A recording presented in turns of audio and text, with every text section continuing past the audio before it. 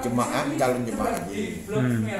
Tapi dalam proses kita itu masih ada empat materi dengan praktek lapangan waktu itu tertunda Hmm.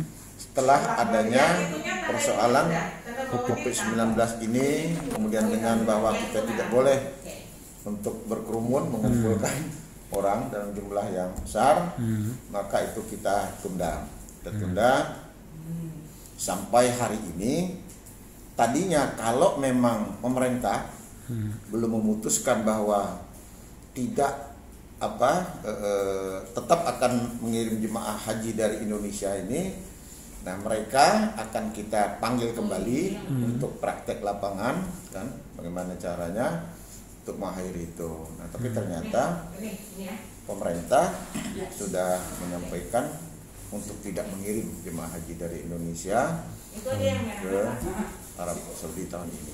Arab Saudi juga saya tidak tahu bagaimana keputusannya. Hmm. Tapi yang jelas nanti di lapangan memang karena setiap tahun jemaah yang paling banyak adalah dari Indonesia. Hmm. Berarti ketika Indonesia kalau dulunya ada kan Singapura juga sudah memutuskan